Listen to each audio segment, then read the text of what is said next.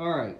So everybody has had a chance to go through this. Um, this is in your workbook, que- rhetorical analysis, question two, right? And we have talked about how um, we are looking for how the word choice and structure uh, contributes to the purpose. What is the subject of this piece? We read the prompt and we understand there were some clues in there that Don Marquis is presenting a facetious, almost perfect state. He's suggesting this almost perfect state, right? What is he talking about? What is this really, this piece is about? What's the subject of it? The last ten years of your life. Say that again? The last ten years of your life. Okay, the la, all right, the final chapter of our lives. Okay, okay. End of days, maybe. Okay, anybody else want to put it in different terms? What do we, what is everybody like, you know, everybody's working for the weekend, right? You know, uh, who's saying that? Is that Foreigner? Um, you know, it's like we live our lives like, I can't wait till it's Friday. I can't wait till I'm 16 so I get my license. I can't wait till, uh, you know, 18 so I can vote. I can't wait till I, you know, graduate from high school. We're always like kind of like wishing it was further on down. It's like we're wishing our lives away. Okay, and we all, we, then we, you know, we go out, we get a job, and we're working towards what? When we get old and we can retire. Retirement, okay? Being put out the pasture, as it were. all right? What do you think, what do you suppose uh, motivated uh, Don Marquis to write about this? Am I on screen, uh, Yeah. Don? Okay. Can you see it, or would it be better if I turned the lights off? Um, maybe the lights off. Try, will you try that, Miss Lower? Thank you. All right, we can come back to that. What might have inspired him to, um, you know, what, pers- what precipitated him to write this, right? But if I want to add that sophistication point, I might think about, you know, could it be that Don Marquis is in that, you know, 10 years from retirement, uh, where it's like, oh, you know, it's too, you, you know, I can't retire ten years early, but you know, it's like still, can I work ten years? God. All right, uh, audience. Who is his audience? Just fans that read this. Yeah, the people that are reading the newspaper, they're usually, I would say they're older, and I think he's doing this to want, like, don't set out your life, like, he's already got this plan, like fifty years of working, then you'll be 92, 10 years of the way you want to live. Okay. Become one two, so he's warning them to not become this, such a confined life. Okay, so that's uh, purpose, right? That's coming down to purpose. Um, you know, encouraging um, a, a lifestyle choice. Uh, and we'll talk a little bit more about that in a minute. But encouraging a lifestyle choice by using what? What can we tell about the speaker? What is his primary uh, modus operandi? His primary mode of attack is what? Sarcasm. We already talked about. He he also drew a, um, you know a, poli- a you know satirical political cartoons or whatever about a cockroach and a alley cat in New York who pontificate about life, right? Um, so he's a humorist, a satirist, right? Okay, he's funny, allegedly. All right, um, you know, uh, there is nothing that modern day teenagers think more hilarious than uh, people writing in 1921. Am I correct? They were so woke then, right? It was totally fire. Uh, uh, you saw what I did there. Okay, all right.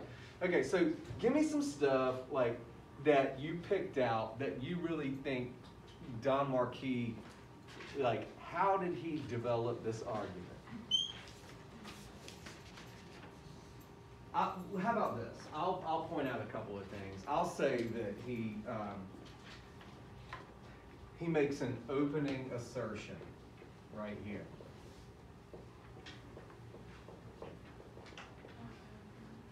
Uh,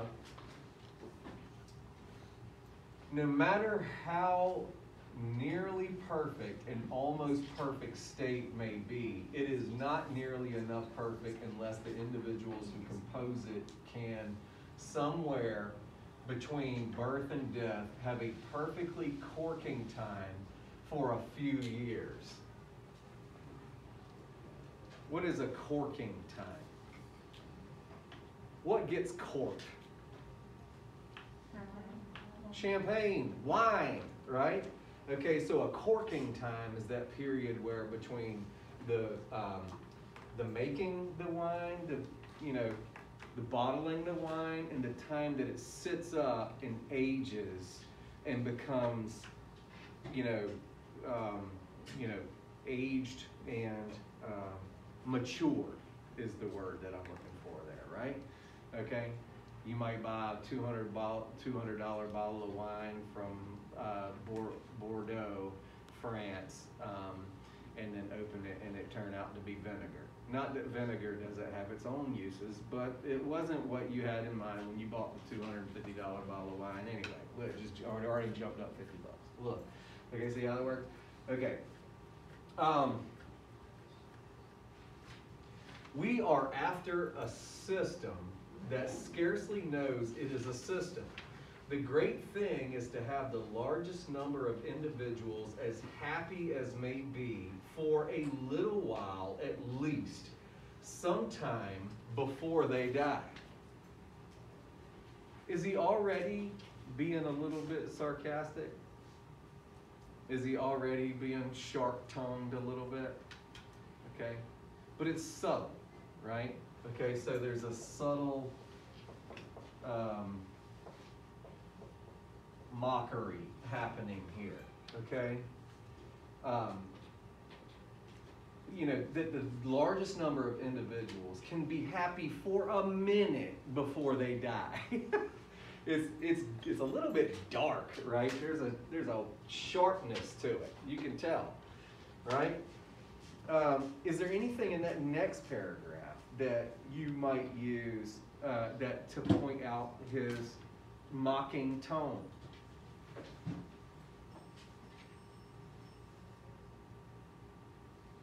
Look at the next paragraph between lines uh, 11, 12, and uh, 20, 28. It's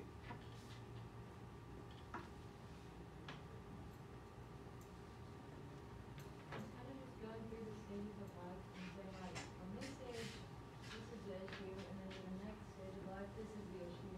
He's categor, categ, um, or cataloging.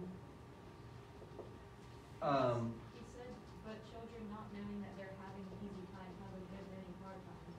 It's like, they don't know that they're, they're not facing this, like, problems of, like adultery, adult. adult adultery, Problems, basically. trials of, They're not like living in the moment of being a child. okay? I love this. Infancy is not what it is cracked up to be. you know, like, oh, you had it made when you were a, an infant, right? You know, how was your infancy, Josh? Pretty good. Do you remember it? No. No. it's silly, right? Okay. Um, then what about? I love this one right here. Um, you know, but children not knowing that they are having an easy time have a good many hard times, right? It's hard, but why does the kid, why does the toddler just scream and throw a fit and cry? You know, it's like, why can't I just have what I want when I want it? Right? You know, they don't understand. Life is complicated for a toddler who has limited language to express himself. Growing and learning and obeying the rules of their elders or fighting against them are not easy things to do. Adolescence is certainly far from uniformly pleasant period. I mean, uh, you know, when I think back on my adolescence, it was, you know, I mean, this was a doggone struggle, right? You know, it's like, I'm an adult, daggone it. Why do you still make me follow all these rules, right? So I love that adolescence is certainly far from uniformly pleasant. What would you say is, he is the technique that he's employing there? Certainly far from uniformly pleasant, period. Can we call that understatement? Mm. A little bit of an understatement. You, you guys are living a teen, being a teenager. This is hard, right? You know, understatement. Okay, well, maybe not for everybody. Um, some some people got it made in the shade, right? Um, all right. Uh, no, being you know, all the way, you know what? It's it's a struggle all the way up. You know, now they have a quarter life crisis, and you're gonna be 25, and you have a college education, and you're gonna be surprised that nobody's come beating down your door trying to give you a job yet. you know, all right. There's struggles with every period in life. There is a struggle, right? And he's kind of downplaying that uh, for for humor. Look at the next paragraph, lines 29 to um, uh, 34, 33. Did anybody find anything in there um, fun?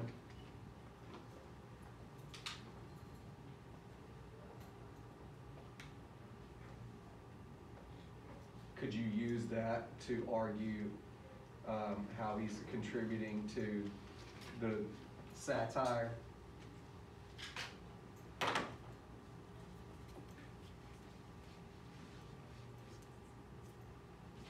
opening assertion, subtle mockery, um, understatement, cataloging the trials. I'm just kind of mapping this thing out here. Um, all right. Um, it is it is to old age that we look for reimbursement. All right, he's starting to get to his point here.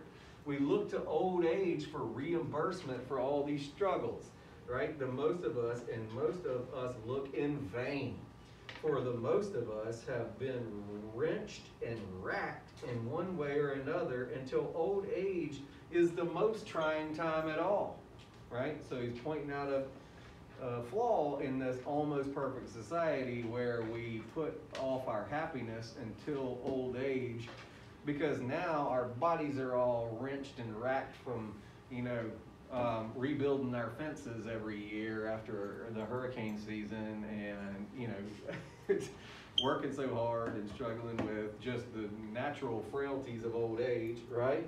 Um, what about this next paragraph? Is there anything in there that we could use? Did anybody point out anything there? Underline anything in that? In all, in the almost perfect state, every person shall have at least ten years before he dies of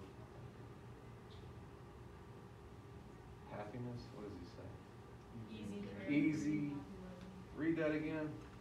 Easy, carefree, happy living. Okay, so we should have a few years. How long should we get? Personally, we look forward to an old age of dissipation and indolence and unre- unreverend disrep- disrepute. Do we know what those words mean?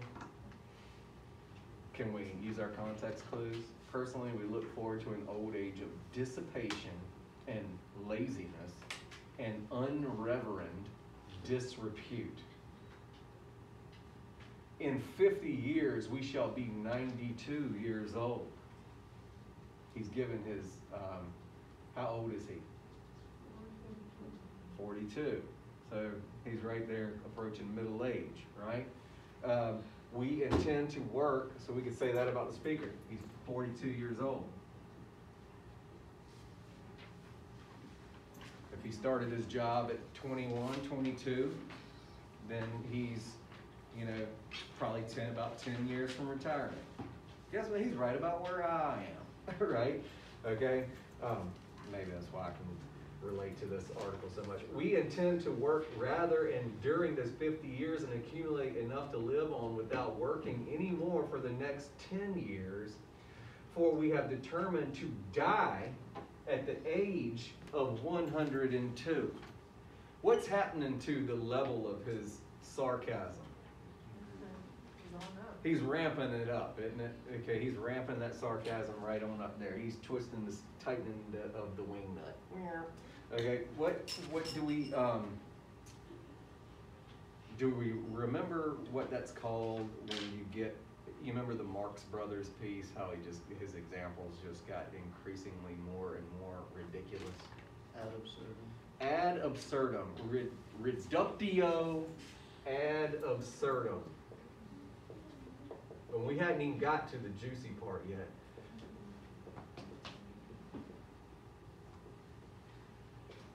Mr. Delamar can make song and movie references to the things that we're studying in literature ad nauseum. That means until we're sick, right? Or ad infinitum, until forever, right? Ad reductio ad absurdum is when you reduce your argument to just hilarity, right? Just a ridiculous mess.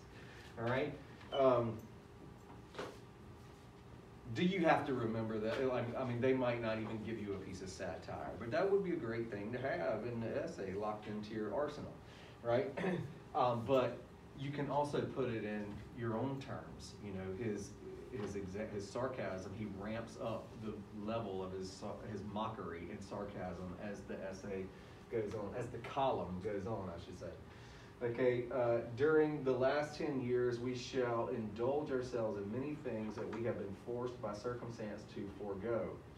We have always been compelled, uh, and we shall be compelled for many years to come to be prudent, cautious, staid, sober, conservative, industrious, respectful of established institutions, a model citizen. Right? Isn't that what becoming an adult is all about in our society? Sit still, be quiet, listen, be um, sober, conservative, industrious, respectful, right? Um, and then he says, but the people whom we really prefer, you know, when we're young, we're excited by,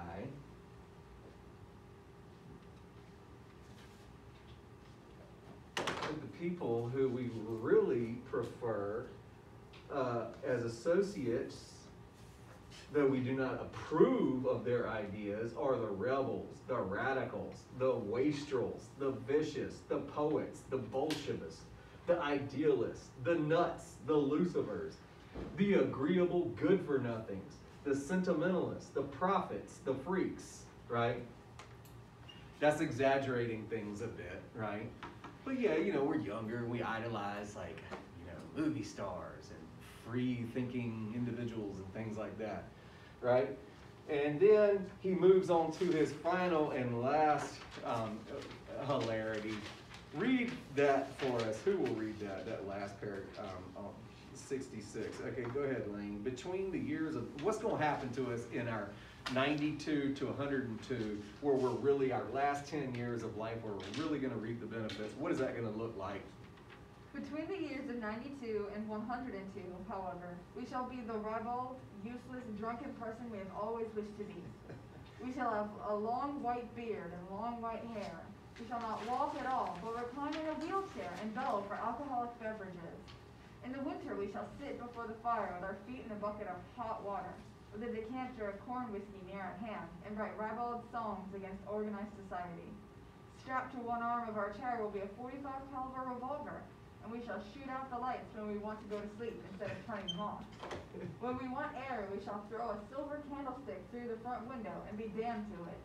We shall address public meetings to which we have invited because of our wisdom in a vein of jocund malice. Okay, yeah. Uh, what does joking mean? Jockin, j- j- uh, jovial, jocund, joking, right? Sounds like joking, right?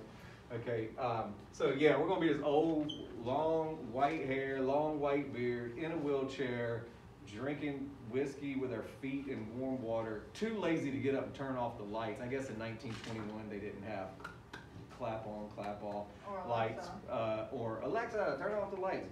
Do you know how to do that? Yeah, Do you know how to make your Alexa turn your lights on and all that kind of stuff? yeah, it makes like a special kind of wiring and stuff, but I yeah. don't know if I want Alexa to have that much control. She's already listening to everything I'm talking about. Yeah, So she knows how much I talk to my cat and to myself. Already, I'm at a disadvantage, right? I mean, she already Okay. knows my music taste, God Right. knows what else. Okay, do I really want her messing with me and turning the music on eleven and, uh, turning the lights on and flicking the lights at two o'clock in the morning when I'm trying to sleep and thinking that my house is haunted? Yes, I don't do. know. All right. It'll uh, be fun, come on. Let's. Anyway, Don Marquis had no I, for, uh, forethought of such things, so he uh, instead describes an individual who, with a 45 caliber gun, is shooting out the lights. it's ridiculous, right? I mean, uh, you know. Okay, so what I would like for you to do is, does he make a final? Um, uh, call for action, like any argument, whether a joke argument or a real argument, usually involves some sort of either imperious, you will do this, imperative argument, or a hortative one, which is a sort of suggestion at how one should live one's life and how one should behave, which is this. imperative or hortative. Horatio talked about suggesting, simple suggestion of, um, you know, where you implore, you beg someone to make some changes, as opposed to, you will do this or else, which would be more imperative, right? Okay, so does he make a final call for action? What are we gonna do if we're gonna sign up for this? Is there a a final sales pitch here? In the meantime, of course, you understand you can't have us pinched and deported for our journey. Okay, all right, you can't have us pinched and deported for, what is a yearning? You're longing. Your longing, your wants, your desires, right? Okay, what you got? He said, we have always been, but for our part, we have always been hypocrite, and we shall continue being a hypocrite for a good many years yet. And we yearn to come out in our true colors at last. Okay, and we yearn to come out in our true colors at last. You know what this reminds me of? You ever heard that expression, to be a conservative as a, uh, to be so, a very conservative at a young age is to lack heart. And then to be uh, liberal at an old age is to means you lack brains. you ever heard that expression? Okay, uh, like the young are full of heart and free thinking idealism and stuff, and then you get older and you're a little bit more conservative, right? Um, what about what Thoreau said? We are, um, people are, I had to write it down. Most people lead lives of quiet desperation. You know, we work for the bank, we work for a company, we pay a mortgage, you know, we sign up for society's constructs, we get married, we, we have children, you know, we do the stuff. What did Prufrock lament about? He'd had some experiences, but now he's old and he's not really having many anymore. He doesn't even know if he should dare to climb a stair or eat a peach, right? Because he's old and wrenched and racked and brittle now, right? But he still wants to live. Um,